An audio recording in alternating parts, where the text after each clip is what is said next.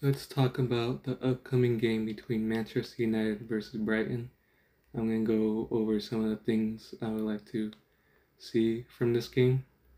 First off, starting with I think Zirkzee has to start this game after scoring his uh, first goal for the club against Fulham. It was a great finish that is just you know, seen from a natural striker. Um, I think we need that kind of presence in our box in order to score goals. I know Ten Hag has has been playing a false nine, um, just seeing Bruno Fernandes and Mason Mount interchange between the, the, the 10 position and the false 9 position. Instead of seeing that for this game, I'd rather see Zirkzee start. Um, he just provides more more of a threat in the box, and he has that height, that physicality, and I think that's what is going to be very important for us against Brighton. Next point, I think uh, De Ligt has to play over Maguire in order for us to establish a high line in the game. Uh, I know Harry Maguire has been playing pretty good recently. He had a good season last season, and over the Euros he was pretty good. But at the same time, I don't really think his qualities suit the way we want to play. And if we continue to uh, choose him over De Ligt, that would just it's just like starting um like with a a system that we don't want to play and I don't know why Ten Hag would want to do that. I feel like Ten Hag should just play De Ligt in order to have that system.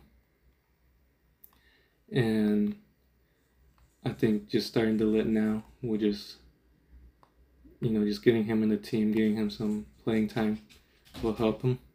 And giving De Ligt the time he needs is important, uh, just so he can get to know the players he's playing with and form a, um, just a relationship with the rest of our defenders.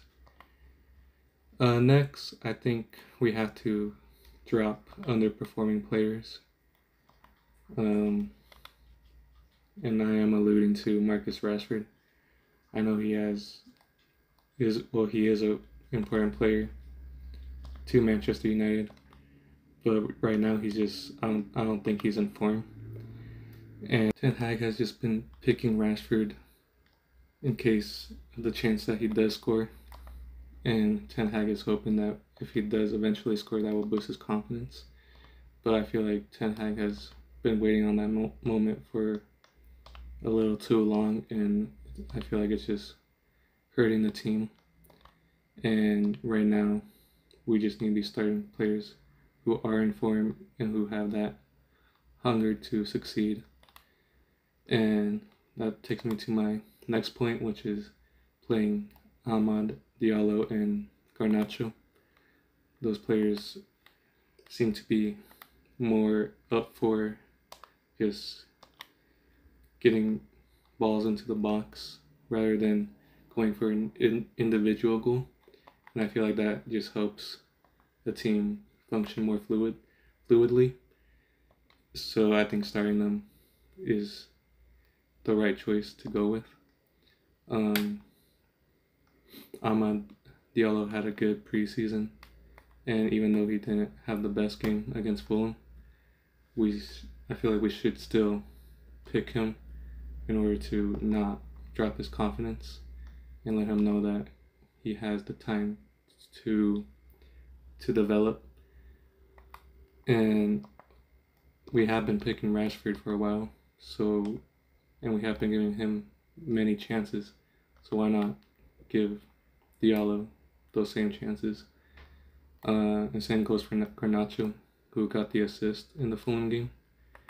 Um, it was a great assist and I feel like we need to be seeing more of those kinds of passes into the box, and especially to our strikers, uh, whether that's Zirkzee or Højlund. And then my next point is uh, Mason Mount is a good player, but he has no place in the starting 11 from what I can see. Um, Mason Mount, in my opinion, can only play in the attacking midfield position. Uh, I feel like he does have the, the energy to get back and help in defense. So if we do play him as an 8, then, you know, he, he will get back. But at the same time, I don't think that's his.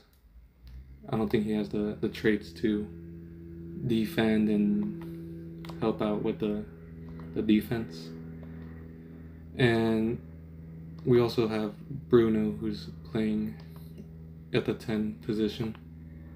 And Bruno is the captain. So I don't see Ten Hag dropping him.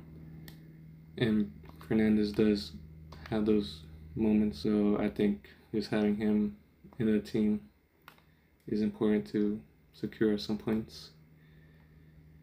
And then my last point is that I support Erik Ten Hag, but at the same time, he does need to be criticized from the fan base. I still think he deserves time because he has been winning us trophies. He has been developing a team, introducing young players, and I think that even though he has done all those great things, there are things that he has to work on, such as, you know, dropping certain players that don't perform and getting just a better sense for when to make substitute substitutions in the game. And also just just having more of a plan with the playstyle and yeah I think that for this game Manchester United will end up winning. Um, but it's going to be a, a tough game because Brighton are a club that has been developing well and they do have a new manager.